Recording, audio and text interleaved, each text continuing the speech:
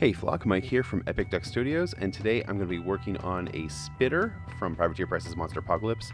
I'm going to be painting this in a sort of altered version of my comic style approach, where I'm going to be trying to emulate the artistic style of Frank Miller, specifically Frank Miller's Sin City comic books. So I'm going to be using just a lot of heavy black and white, and just a little splash of color. Now I've gone ahead and I've just basically base coated the whole model in white. So I accomplished that base coat by first just priming the whole model in a white primer and then dry brushing the entire model with a coat of Citadel Ceramite White and then touching that up with a coat of P3 Morrow White, which is just a little bit whiter. Now with my normal approach to comic book style, I do all my base coats and highlights first and add all the black lining afterwards.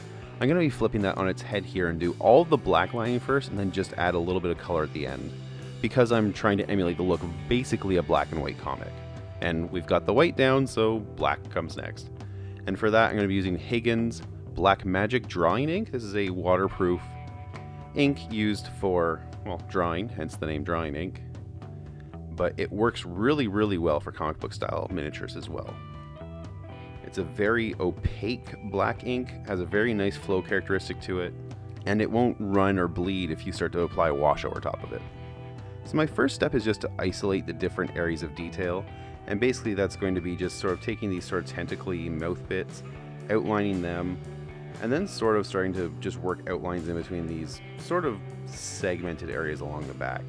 As well, he's got some little sort of bumps and pustules and so on, and the teeth. And I'm just to be kind of, you know, picking the teeth out individually.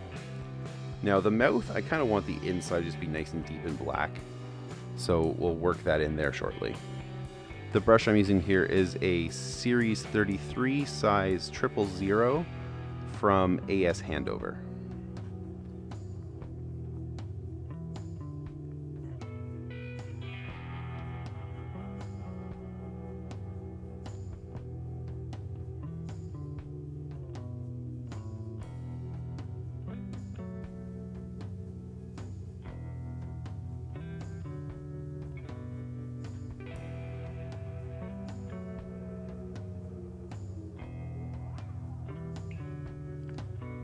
Say, first I'm just going to work around the model, isolating sort of the distinct aspects. So in this case, I'm trying to isolate the mouth bits from the rest of the model. Then we can work on the smaller details like the pustules and so on.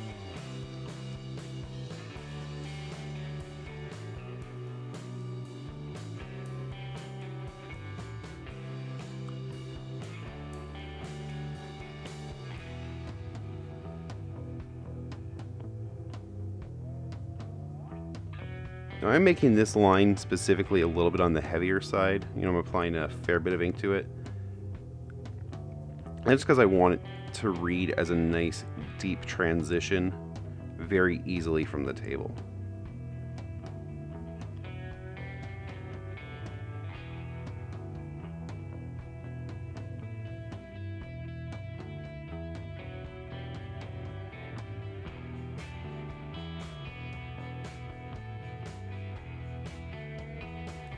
If you've watched my other comic book style tutorials, you know that one thing I really like to preach is sort of just letting your mistakes happen, leave them where they lie. So if you make a brushstroke where you didn't plan on it, especially with the black ink, don't try and fix it right away. Don't like bust out the white paint and immediately try and solve it. Just save it for later because it may not end up being a problem. Here, for example, I tried to outline this from straight down, if I look from this angle, there's actually a really deep sort of uh, crevice or channel underneath that tentacle. So I'm just going to go and fill that with black ink, because from most angles it doesn't really matter.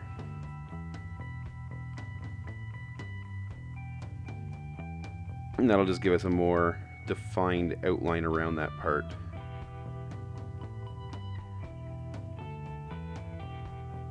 And it can be pretty important when you're working on a model like this to check it from different angles to make sure that, you know, what you think you outlined actually works from multiple different angles, from different viewpoints.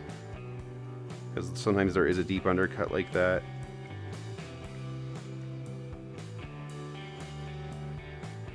Or a little bit of hidden detail that you can only see from certain angles.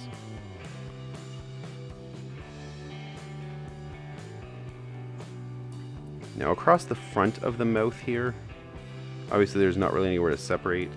What I'm going to do is just sort of fill in underneath this and just bring it up into this sort of little groove between the, uh, the segments just a little bit. Let's give it a little bit of a round shape.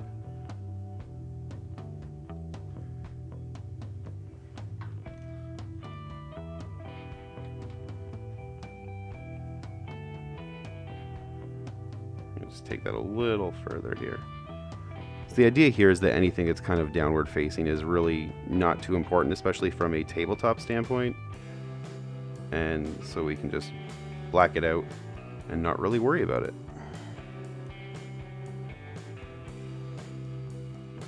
So I'm being pretty liberal with the black ink here along that bottom.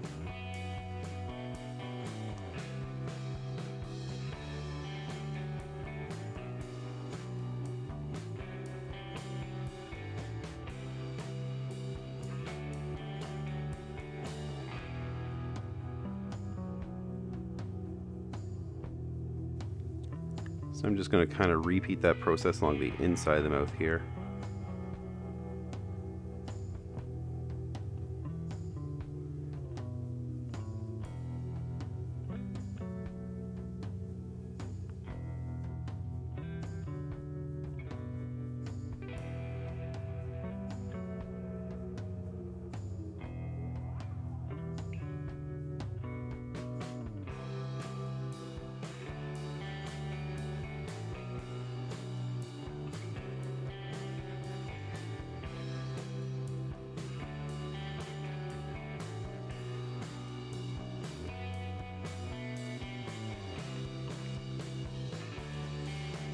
Start to build a little more shape.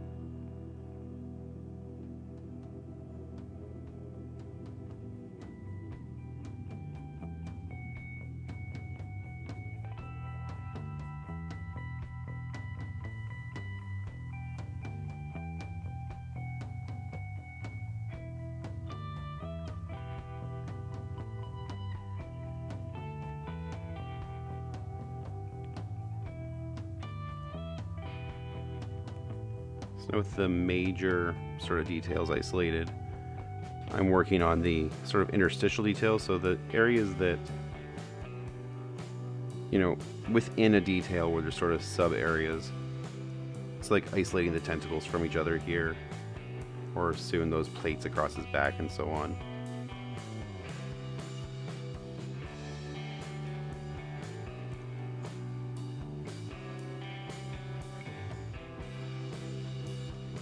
And you can see as I go, I'm working a lot of black in. The idea there is that the more black I work in now, the less detailing I have to do later.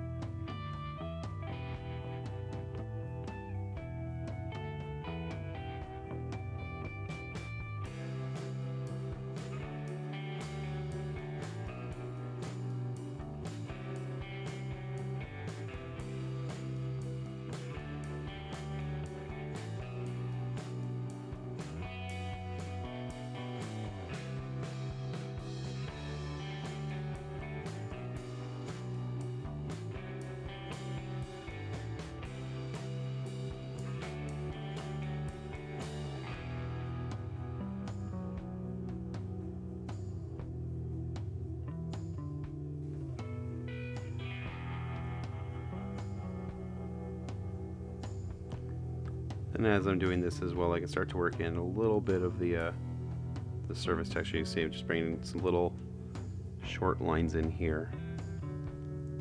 You really, you know, as much as I sort of mentally try to break the uh, black work down into three steps, so it's, you know, outlining, uh, interstitial detailing, then like final detailing. Really, you can kind of just do all three at once, especially if you have a better mental image of what it is you're doing. There's nothing saying I can't start that line and then, you know, pull these little details out of it as I go.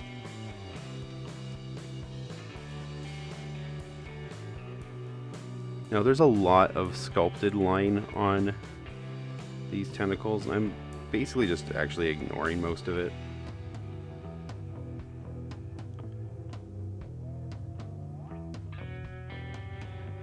There's far more than I need. And for the style I'm kind of trying to accomplish here, it's a little too uh, fine-grained. So instead I'm just adding my own and not really worrying about it.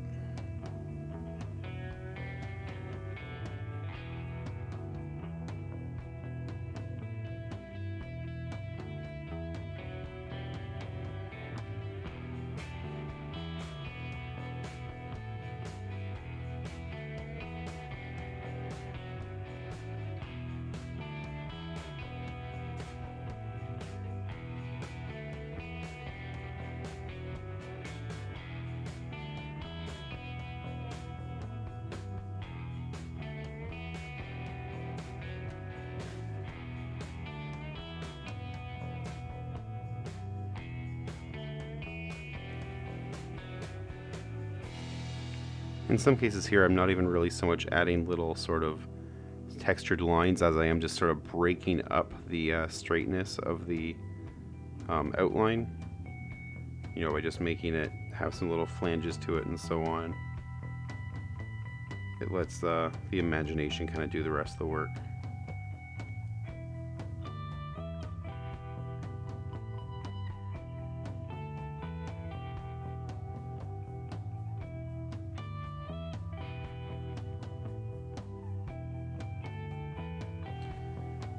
Okay, so that's the tentacles basically done there. I'm just going to continue now isolating the teeth area as well as starting to sort of build up detail in the segments in the back. So the teeth get really tricky because they're in this recessed area. And really, I'm just ultimately not concerned with getting all of them. If I get a decent number, if it looks menacing, I've done well enough. I'm going to start by filling in the sort of there's like a throat hole or an esophagus at the back here.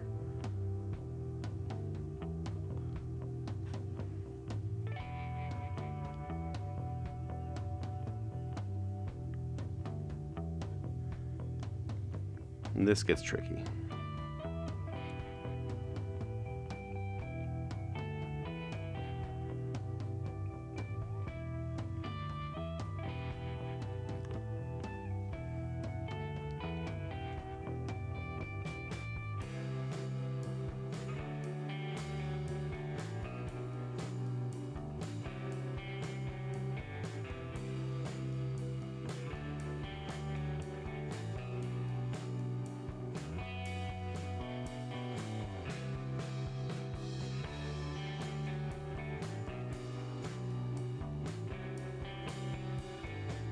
This is an area where I just accept I'm going to make some mistakes.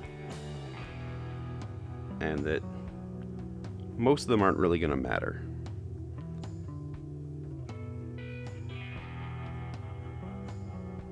You know, as long as when I'm done you see a bunch of teeth, it still works.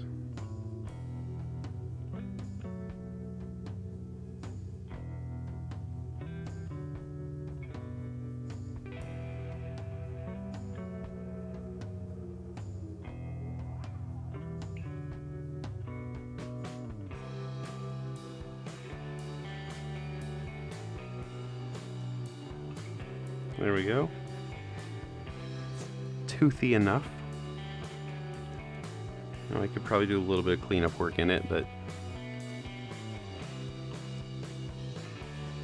ultimately it looks like a toothy mouth. Gets the point across.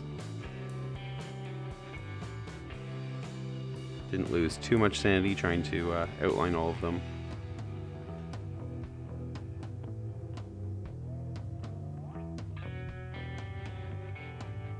Going to start working on some of these uh, surface details here.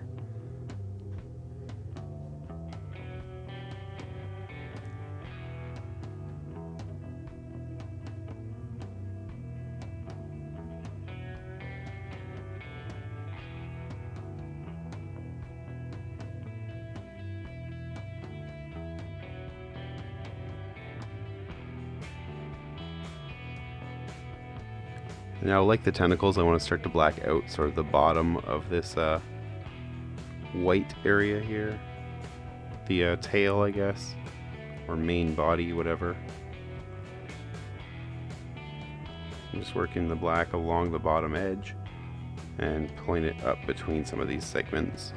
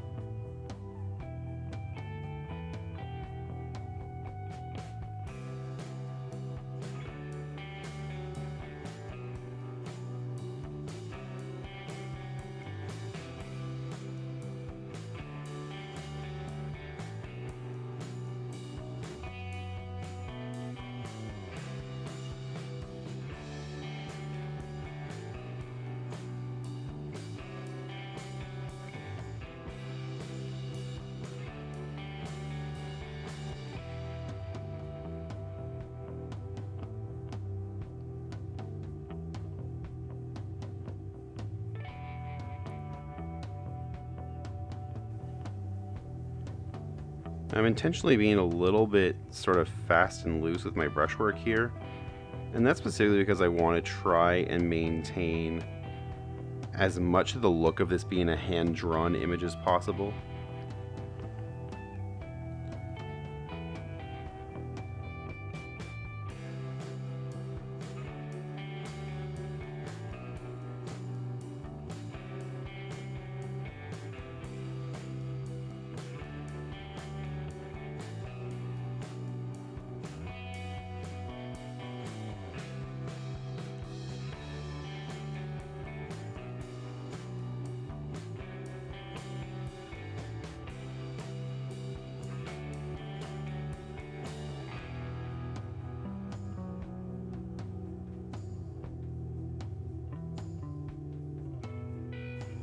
So here with these sort of, I guess we'll call them spines across his back, I'm electing to paint the back side of them each in black, so as it faces the rear of the model. And that's just to help break up the continuous amount of white that they produce otherwise. And I sort of just decided to pick a facing and work them from that direction.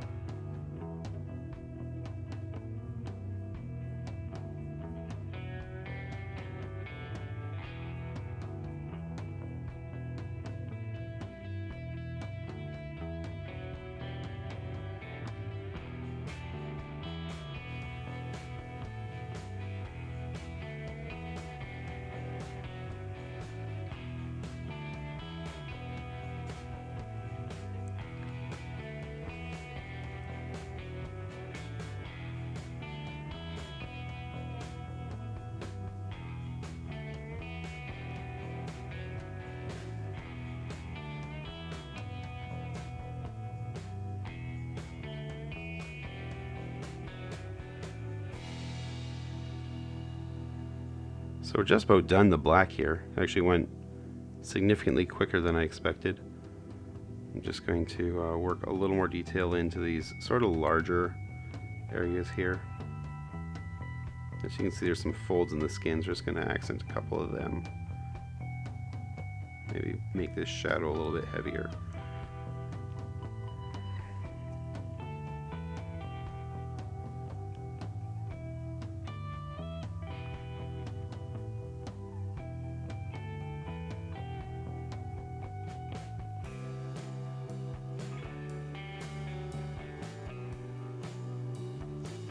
Let's give it a once over. It's a little flat and boring right in this area too. Build on some of these shadows.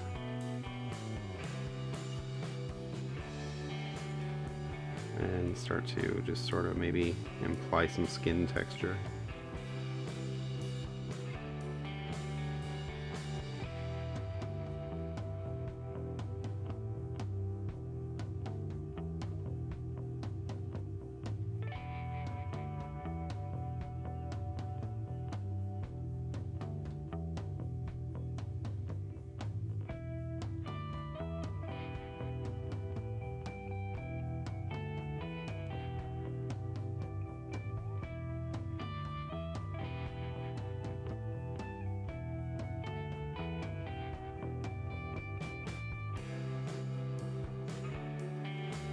There we go. It's a decent black to white ratio, I think. Oh, just a little bit more on this big tentacle right up top here.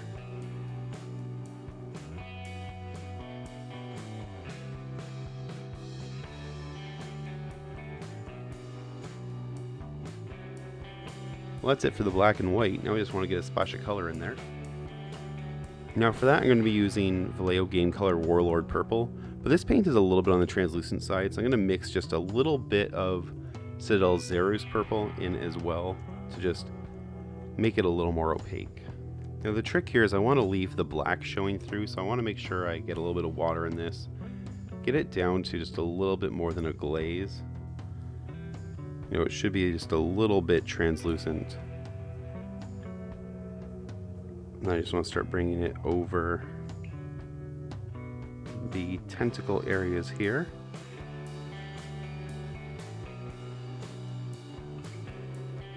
So the main body, the teeth are all going to remain just black and white and the tentacles are going to get just this little bit of uh, this hint of purple, right?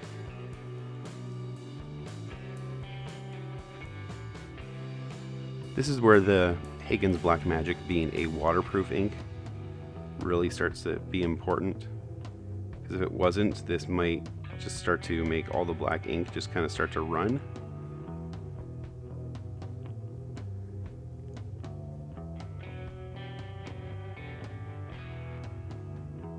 I tried a few weeks ago, I was using a calligraphy ink for this style of painting and it was not waterproof and when I started applying a little bit of a Citadel wash to it, it just the ink just picked right back up off the model and just ran all over the place. Needless to say, that wasn't the desired outcome.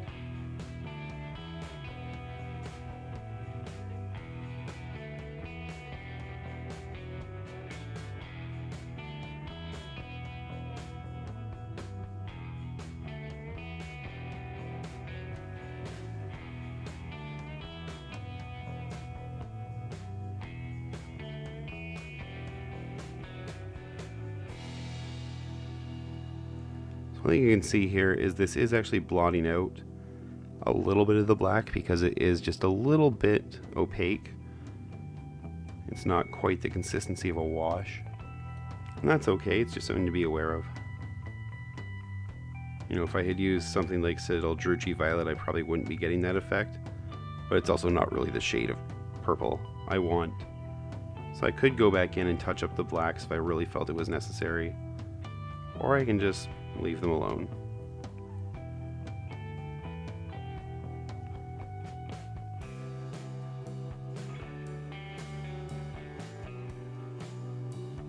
So I just want to give that a once over, make sure there's no spots where a little bit of white showing through.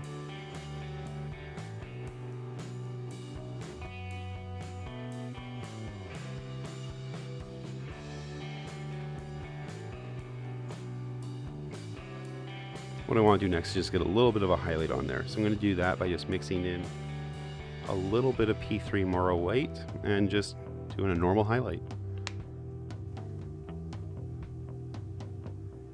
Now this is where I sort of really, I think, deviate from my intended Frank Miller style. Because you don't really see a lot of highlights in his colors, because his colors are usually, at least regarding Sin City, they're really a highlight in and of themselves. Like, they're a shock of color on an otherwise black and white page. And the color doesn't really need highlights, because it's already doing its job properly. Um, because I'm painting these for visibility on a tabletop, however, I like to uh, keep that in mind. Just add some highlights that'll make them stand out just a little bit better.